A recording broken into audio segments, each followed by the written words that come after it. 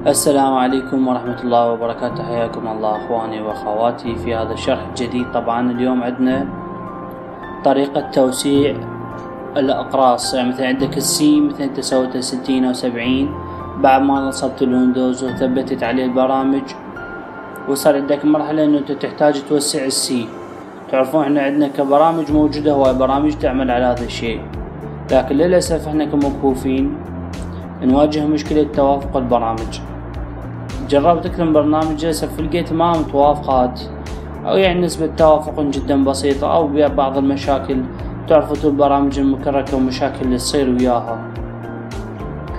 آه زائد إنه إحنا ما نعرف هذا إيش اسمه شو يسوي لنا الكراك بالويندوز. ربما يسوي لنا بعض المشاكل مستقبلا. طبعا سويت درس سابق لطريقة تقليص الأقراص. يعني مثلا عندك ال C نفرض حجمه خمسمية وتريد تطلع منه partition واحد أو اثنين. آه هذا الطريقة تصير بالعكس اللي هي التوسيع. مثلا أنت عندك قرص C و D و E عندك ثلاثة. ال C مثلا نفرض خمسين وال D مثلا ميتين أو ثلاثمية. وال E نفرض عندك إنه فد مية. أنت تريد توسع ال C تريد تسوي ال C تسوي مية. تاخذ القيمة اللي تريدها أنت مثلا مو شرط مية تشوف شقد يفيدك. تاخذ القيمة لازم تقتطعها من من ال D لأنه أقرب شي ياخذ من عنده ياخذ من القرص القريب إله لأن ما يقدر نظام الهاردات ياخذ من النظام القريب إله جدا. فراح ياخذ من راح ياخذ من القرص ال D. إحنا طبعا أنا بالدرس السابق سويت اقتطاع همين. هذا الدرس طبعا راح افرمت ال D وراح أشوفكم شلون آه نحذف القرص حتى تصير مساحة فارغة ياخذها ال C طبعا ثاني حجم بهذا الكمبيوتر راح أشوفكم حجم الكمبيوتر شقد حجم السي بالضبط. الم... الأجهزة ومحركات الأقراص تجميع مفتوح الأجهزة القرص المحلي. سيسماري فيس 8 من 12 النوع تحرير القرص المحلي للقراءة فقط. الحجم الإجمالي لتحرير 116 يوغابايت للقراءة فقط. الحجم الإجمالي الحجم مالته 116 مثل المرة السابقة ندوز ويندوز وحرف الإكس. سياق قائمة وننزل إلى إدارة الأقراص كذلك. خيارات أعراض النظام. إدارة اتصالات الشبك. إدارة الأجهزة دال اتصالات إدارة الأقراص قف إدارة الأقراص نضغط عليها الم... إدارة الأقراص. المستوى صفر. إدارة الأقراص واحد من واحد. المؤشر عادي. قائمة. إغلاق قوس هلالي C smiley face ندوس shift و tab أعراض الرسومات جدول. القرص صفر. المنطقة اثنان. تسمية. القرص صفر. المنطقة ثلاثة. تسمية وحدة التخزين. وحدة تخزين جديدة. حرف محرك الأقراص. D نظام. القرص صفر. المنطقة اثنان. تسمية وحدة التخزين. لم يتم التعيين. حرف محرك الأقراص. C نظام الملفات. NTFS السعة 116 فاصل. هذا عندنا ال C القرص صفر. هذا الدي القرص صفر. المنطقة ثلاثة تسمية وحدة التخزين وحدة تخزين جديدة. حرف محرك الأقراص. D نظام الملفات. NTFS السعة 78 فاصلة هسه هذا ال D نفرض أنا ما أريد ال D أو أقدر لأن أنت لازم تقتطع جزء. مثلا عندك ال E نفرض قلنا كبير. تقدر تنشئ له قرص جديد وسميه D جدا طبيعي. ويصير يظل نفس الترتيب مالتهن.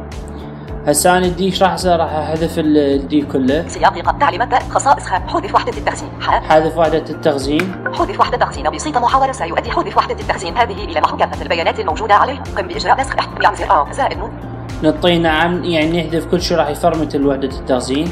إدارة الأقراص. عرض الرسومات جدول. المنطقة ثلاثة تسمية وحدة التخزين. لم يتم التعيين. حرف محرك الأقراص. لم يتم التعيين. نظام الملفات. لم يتم التعيين. الساعة 78 فاصلة. هسه هاي المساحات راحت الصيغة مالته والنظام وكل شيء راح. ال D كله يعني اختفى يعتبر. هسه إذا تروح الكمبيوتر ما تلقى ال D فراح أوقف على ال C القرص صفر المنطقة اثنان تسمية وحدة التخزين لم يتم التعيين حرف محرك الأقراص. C نظام الملفات. NTFS السعة. هسه راح أدوس application وأنزل إلى توسيع. سياق قائمة. فتح باب. استكشاف ألف. توسيع وحدة تخزين صين توسيع وحدة تخزين هاي الحالة إذا مثلا تريد تقطع من ال E وتعوفها المساحة فارغة وتجي بعدين تدمجها ويا ال C للأسف راح يقول لك ما يتم. شرطا وحصرا لازم تقطع من ال D. القرص القريب من ال C لازم تسوي قطعة من عنده. فندوس عليها enter توسيع. معالج توسيع وحدة تخزين محاورة يساعدك هذا المعالج في زيادة حجم وحدات التخزين البسيطة والموزعة. بيمكنك توسيع وحدة التخزين بإضافة مساحة من قرص إضافي أو أكثر. مرحبا بك في معالج توسيع وحدة تخزين للمتابعة. انقر فوق التالي. التالي زر زائد تاء اضغط على التالي. صفحة الخصائص الحجم الإجمالي لوحدة التخزين بالميل بايت 199420 الحد الأقصى للمساحة المتوفرة بالميل بايت 8 راح يصير يقول لك 199 إزالة زر آفس إزالة الكل زر آفس المحددة قائمة. القرص صفر. حدد مقدار المساحة بالميل بايت تحرير. آفس زائد حاء 80000 محدد ثمانين ألف. أنت تقدر تأخذ مثلا جزء معين من عنده ويخلي لك الباقي يظل فارغ. لكن أنا راح أخلي أدمجه كله. السابق زر زائد سين. التالي زر زائد اضغط تاء. على التالي معالج توسيع وحدة تخزين صفحة الخصائص تم تحديد الإعدادات التالية. إكمال معالج توسيع وحدة تخزين لإغلاق هذا المعالج. انقر فوق إنهاء قائمة. القرص المحدد. القرص صفر 80000 ميوها بايت نضغط على السابق آفس زائد إنهاء زر. انهاء إدارة الأقراص. طبعا بعد ما ضغط راح أشوف الس- القرص إيش قد صار حجمه. القرص صفر. المنطقة اثنان تسمية وحدة التخزين لم يتم التعيين. حرف محرك الأقراص. C. نظام الملفات. NTFS السعة 194.5 قال السعة 194 راح نروح نتأكد من هذا الكمبيوتر شخصيا من كذلك. هذا الكمبيوتر الشخصي نافذة. طريقة عرض العناصر قائمة. الأجهزة. ال...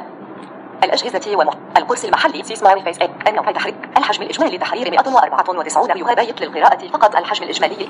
صار حجم القرص 194 هذه الطريقة هي توسيع آه، الأقراص عندك السي خصوصا إحنا نحتاج السي عند النظام بدون أي برنامج. إن شاء الله أتمنى لكم نهار سعيد. تحياتي لكم أخوكم عمار صالح. إن شاء الله كنا فدناكم بهذا الشرح. تحياتي.